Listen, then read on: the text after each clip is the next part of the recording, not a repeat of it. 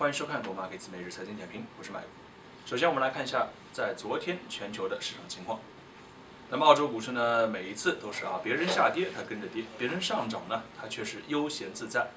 美国在前天晚上涨了整整百分之三点五，但是澳洲股市在昨天仅仅只是上涨了百分之零点七，收盘收在五千九百四十点。中国股市昨天也有类似的反弹，上上证指数呢上涨了百分之一点零五。深圳方面则反弹百分之二，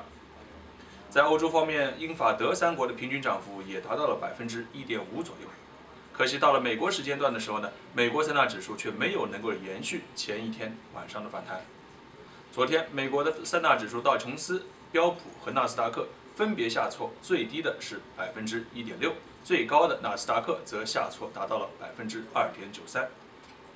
那么除了股市以外方面，黄金价格。因为昨天是下跌了百分之一，目前是在一千三百四十一盎司。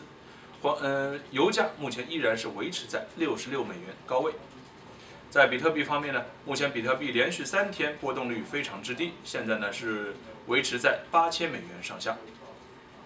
在今天的热门话题中，我们着重来看一下的呢，讨论是澳洲本地的这个我们说的是滞胀的澳洲指数，以及呢目前比较纠结的澳洲经济。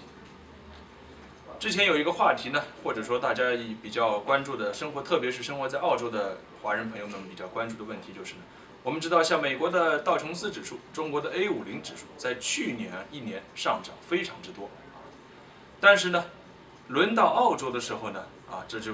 情况就完全不同啊，澳洲的股市呢死活在去年一年就怎么都涨不上去。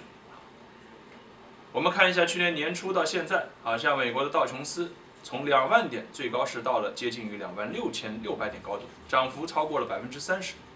A 五零就更不用说了，从一万点最高涨到了接近于一万五千点。但是澳洲呢，我们从去年十月份当时啊突破推荐的时候，从五千八百六十说它能够上六千点，它上了没有？的确是上了，但是上去下来，上去下来，连续超过十次。从五千八百六十，当时的价格大约是在五八六零，我们推荐时候在这儿附近啊，上去下来，上去下来，到目前已经超过了十二次之多。每一次我们这条黑线大约就是在六千点的价格啊，我们可以看到它反复的上下，碰到下来，反复的上上下下啊，这一百多点只有。